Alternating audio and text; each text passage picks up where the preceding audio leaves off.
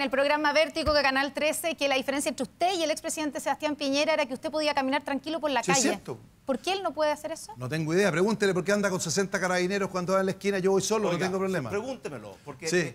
No, pero ahora estoy- ahora- ahora estoy hablando La prepotencia presidente. de la ignorancia y la capacidad de, de ser un Estar en mentiroso mis- profesional en el señor Sandón nos sorprende todos los días. Pero yo lo voy a dejar ahí, que es en el barro, señor Sandón, le quedan muy pocos días de candidato. Mire, Ya, es después que- van a poder dialogar en perdón, todo caso. Perdón, pero él ocupó ciertos minutos míos Sí, sí, porque sí. me trata de ignorante. Y yo lo único que he dicho es que yo no tengo. Perdón, yo fui, por ejemplo, gerente de una empresa agrícola. Él fue gerente del Banco Talca.